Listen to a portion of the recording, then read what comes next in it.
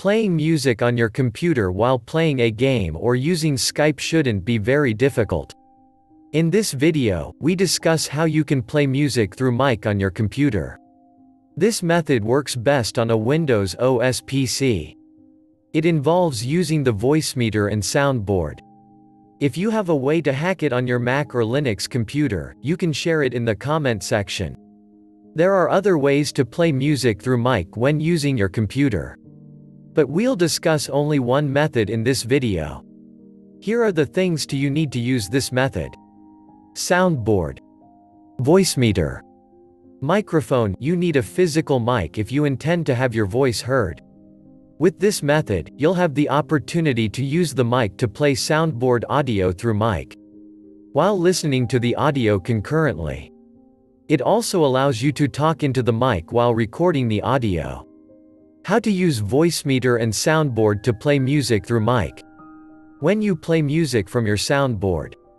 Along with sounds, like speech, from your microphone. The Voicemeeter picks the signals released through the input channel. Then it processes the signals. And plays it via the output channel which is a virtual microphone. The Voicemeeter does not only play the sound through the virtual microphone. It also plays the sound through your speakers. This way you're able to hear what is happening in the virtual microphone. You have options to choose what you want to hear.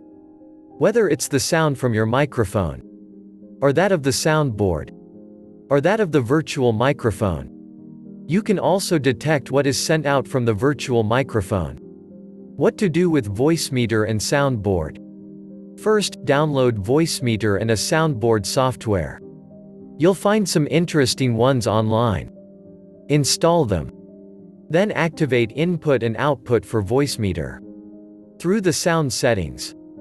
Check for playback and recording tab. If you can't find them.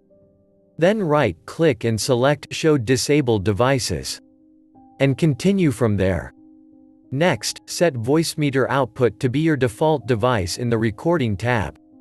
This allows your voice applications to automatically connect to it as the default output device. Also, you have to select your first hardware input which is your microphone. Choose any one from the options of ME, ASIO, WDM, etc. Select the main speakers you are using from A1 hardware out. So that you can hear what happens in your virtual microphone. Your virtual microphone will usually have been set as B main out. Check for the virtual microphone Voicemeeter output or the virtual out that is pink. Now, move on to your soundboard and open the software. As your first output, select Voicemeeter input. What to do with your target program. Make sure that your virtual microphone, which is Voicemeeter output, is set as the input device for your target program. Here's how you can make sure of this. Go to the audio settings of your target program and edit it. Set it to use Voicemeeter output as its device for primary input. This setting will work for Discord and some other programs. Did you find this video helpful? Check the link below for more ways to play music through mic. If you've enjoyed this video, click the subscribe button below.